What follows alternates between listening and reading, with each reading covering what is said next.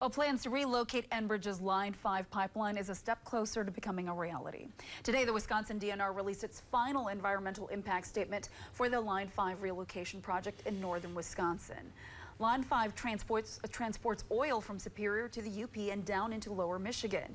It currently runs through the Bad River Reservation. Now, the proposal will relocate the pipeline to go around Bad River.